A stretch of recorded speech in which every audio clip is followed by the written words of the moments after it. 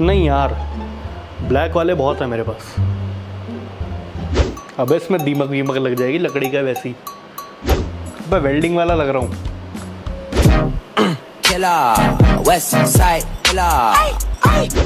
हाँ ये परफेक्ट है। आपको क्या लगा? जो अभी आपको मैंने क्लिप्स दिखाई थी, क्या वो आपको एंटरटेन करने के लिए थी?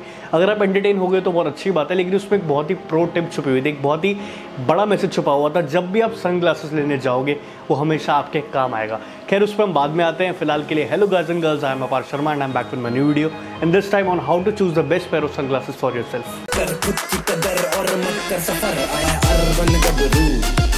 कर स्टाइल की फिकर तू।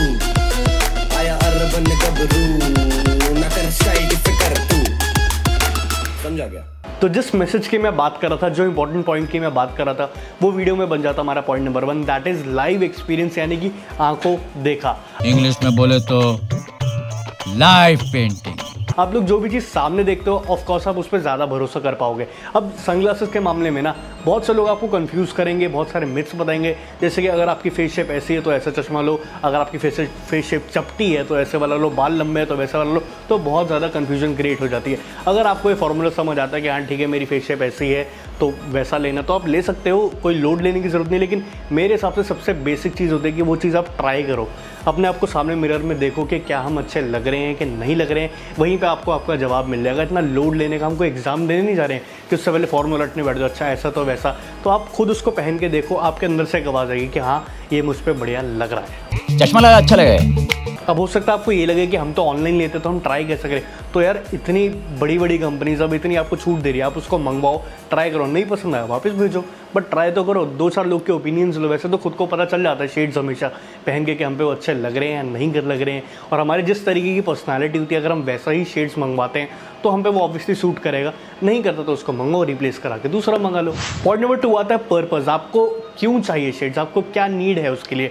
तो हो सकता है आपको डेली वेयर के लिए चाहिए, आपको अपने कॉलेज में पहनना है, आपको वर्क लाइफ में या ट्रैवल करते हुए पहनना है, आपको स्पोर्ट्स पर्पज से चाहिए, आपको किसी फॉर्मल इवेंट पे पहन के जाना है जस्ट या किसी फ़ंक्शन पे पहनना है, कुछ भी आपकी रिक्वायरमेंट हो सकती है। आपको ये क्लियर होना चाहिए हमारे हेड में कि हमारा पर्पज़ क्या है। तो यहाँ पे मैं आपको एक बेसिक चार्ट सा समझा देता हूँ कि जो जो आपका पर्पज़ है, उसके हिसाब से आप कौन से बेस्ट ऑप्शन ले सकते हो। तो देखो, पहले हम कैजुअल की बात करते हैं। अगर डेली वेयर के लिए आपको चाहिए, सिर्फ़ आपको अपने कॉलेज वगैरह के लिए या फिर हैंग आउट करने के लिए चाहिए तो तीन बेस्ट ऑप्शन जो मुझे लगते हैं वो है। एक तो राउंड ग्लासेस या ओवल ग्लासेस उसके अलावा बटरफ्लाई फ्रेम आप ले सकते हो। तीसरा वे फेरस ये सबसे ज़्यादा अच्छे लगते हैं। आप कोई भी कैजुअल कपड़े पहनते हो, आप कैजुअल शर्ट्स पहनते हो टी शर्ट्स पहनते हो, थोड़े फंकी कपड़े भी पहनते हो तो उस पर ये सारे शेड्स आपको बहुत ज़्यादा अच्छे लग सकते हैं। सेकंड अब बात करते हैं थोड़ा फॉर्मल या थोड़ा सिंपल सोबर साइड पे चलते हैं। जैसे मान लो आपको किसी फॉर्मल इवेंट पे पहन के जाना है, आपको सूट या फॉर्मल्स के साथ पहनना है, या फिर मान लो कोई वेडिंग फ़ंक्शन है, कोई भी ओकेजन है जो दोपहर के टाइम पे वहाँ पे आप शेड्स ऑफकोर्स कैरी कर सकते हो। तो यहाँ पे सबसे क्लासिक स्टाइल एविएटर जो 50 साल 100 साल पहले भी पहना जाता रहा और 50 साल 100 साल बाद भी पहना जाएगा, जो फॉर्मल के साथ बहुत अच्छा लगता है। Second rectangle shape evergreen shape है वो भी।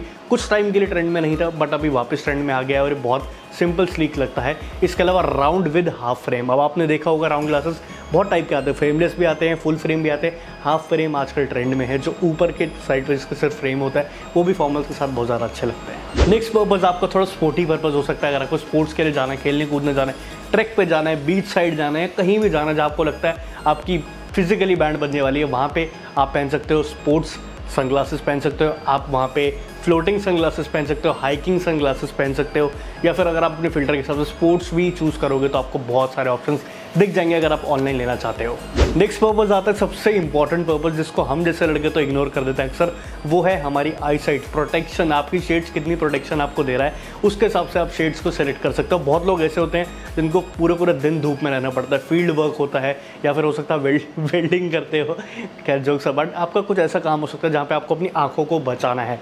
तो यही हमारा नेक्स्ट पॉइंट बन जाता है, जब भी शेड्स आपको खरीदने हैं, आपको प्रोटेक्शन ध्यान में रखनी है। तो प्रोटेक्शन में आपको ये ध्यान में रखना अगर आप बहुत ज़्यादा टाइम के लिए बाहर रहते हो, या फिर आप रेगुलर बेसिस पे शेड्स पहनते हो, तब आपको थोड़ी कंजूसी नहीं करनी होगी। वहाँ पे ये नहीं देखना होगा, सौ, दो सौ वाला खरीद लेता हूँ। आपको मेक श्योर करना है कि आपका जो सनग्लास है वो पोलराइज है, यानी कि वो एंटी ग्लेयर है, जिसमें ग्लेयर नहीं बनता। और वैसे भी बोलते हैं कि जो प्लास्टिक की धूप होती है, जो प्लास्टिक से फ़िल्टर होकर आती है, वो हार्मफुल होती है। तो हम जो सस्ते शेड्स खरीदते हैं, उसमें मोस्टली यही होता है कि वो रिफ्लेक्ट होकर आती है तो वो हार्मफुल हो सकती है। और आपको रोज़ अगर धूप में रहना रोज़ आपको बाहर रहने आप स्पोर्ट्स खेलते हो तो आप पोलराइज ग्लासेस ही लो, या फिर जो हाईली यूवी प्रोटेक्टेड हो 100% परसेंट अगर उसमें मैंशन 100% परसेंट यूवी प्रोटेक्ट करते हैं, वही ग्लासेस आपको लेना है। हम लोग को ये होता है कि हम अपनी लुक सैक्रिफाइस या कॉम्प्रोमाइज़ नहीं करनी, इसलिए हर स्टाइलिश शेड हमें खरीदना चाहिए, लेकिन स्किन से भी कॉम्प्रोमाइज़ नहीं कर सकते, बिल्कुल भी नहीं कर सकते। स्किन डैमेज को हमें कंट्रोल करना होगा, इसलिए मैंने आपको एंटी ग्लेयर वाले ही रिकमेंड करें। और स्किन डैमेज आपको अगर रिपेयर करना है स्किन को बचाना है प्रोटेक्ट करना है या फिर और अच्छा बनाना है तो clarify red algae mask of course मैं आपको दिल से रिकमेंड करना चाहूँगा। इसलिए नहीं क्योंकि मेरा ब्रांड है, इसलिए क्योंकि रिजल्ट्स आपके सामने हैं, लोगों को मिले हैं रिजल्ट्स आप इसको यूज़ करके मुझे बताओ, क्योंकि अभी तक जितने भी लोग बता रहे हैं, मुझे बहुत अच्छा फील होता है जब वो बताते हैं, उनको रिजल्ट्स मिले तो आप इसको यूज़ कर सकते हो। अपनी स्किन को बेहतर बना सकते हो नेचुरल ग्लो ला सकते हो अपनी स्किन पे,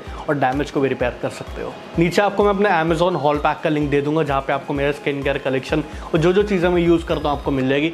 आप उसको क्लिक करोगे, आपको सीधा वो अमेजॉन पे ले जाएगा, वहाँ से आप इसको ऑर्डर कर सकते हो। नेक्स्ट पॉइंट भी बहुत इंपॉर्टेंट पॉइंट है डैट इज़ योर बजट आपका बजट कितना है? देखो, अगर आप दिल्ली, बॉम्बे या कलकत्ता जैसे शहर में रहते हो तो वहाँ पे तो आपको बड़ा इजीली ये देखने को मिलेगा। Brother goggles. एंड फ्रैंकली जो फ्ली मार्केट में या फिर रोड साइड मार्केट में जो शेड्स मिल रहे होते हैं, मैंने भी अपने टाइम पे बहुत खरीदे हैं, अपना टाइम का मैं पचास, साठ साल का थोड़ी हूँ। मतलब मेरे को जब भी चलते फिरते पसंद आता है, मैं ज़रूर खरीदता हूँ। लेकिन सिर्फ़ अपना कलेक्शन बढ़ाने के लिए, इसलिए नहीं ये सोच के कि ये वाले मुझे रोज़ पहनने हैं, या फिर जैसा मैंने आपको बताया कि रोज़ पहनने के लिए आपको प्रोटेक्शन वाले ही चाहिए। अगर आपको कलेक्शन बढ़ाना और कोई अच्छा लग रहा है, सौ, दो सौ रुपये वाला, आप उसको खरीद सकते हो। कुछ बजट फ्रेंडली ब्रांड्स मैं आपको रिकमेंड कर देता हूँ, अगर आपका बजट 400 500 हज़ार 1500 इस तरीके का रहता है, जिसमें आपको क्वालिटी भी मिलेगी प्रोटेक्शन भी मिलेगी। नंबर वन पे मिनीसो है, जिनके शेड्स मुझे बहुत पसंद है। एमटीवी एवरग्रीन शेड्स बनाते हैं वो लोग भी। वॉयज कार्टन लंडन या फिर फास्ट ट्रैक ऐसे कुछ ब्रांड्स आप सर्च कर सकते हो अपने लिए। लास्ट पॉइंट आता है ट्रेंड अब देखो, जो लोग बहुत ज़्यादा फैंस हैं सन ग्लासेस के, जिनको बहुत पसंद है, उनको अपना कलेक्शन बिल्डअप करना पसंद होता है, वो लोग ट्रेंड के साथ मूव ऑन कर सकते हैं कि हाँ अभी ये ट्रेंडी शेड चल रहा है, चलो इसको मंगा लेता हूँ, ये वाला खरीद लेता हूँ, ये वाला ट्राई कर लेता हूँ। तो अगर आपको कुछ ट्रेंड लेना है तो तीन चार ट्रेंडी चीज़ें मैं आपको बता रहता हूँ सन ग्लासेस के मामले में। Number one square framed sunglasses वो आप ले सकते हो, बहुत ज़्यादा इन है आजकल। उसके साथ आपकी फेस शेप जो है वो और अच्छी लगती है, आपकी फेस शेप को वो कॉम्प्लीमेंट भी करता है। और अगर आपका चिजल्ड फेस है उसके ऊपर तो नंबर टू शील्ड सनग्लासेस जो आपने देखा होगा, यहाँ पे शील्ड की एक फ्रेम आउटर फ्रेम लगी होती है।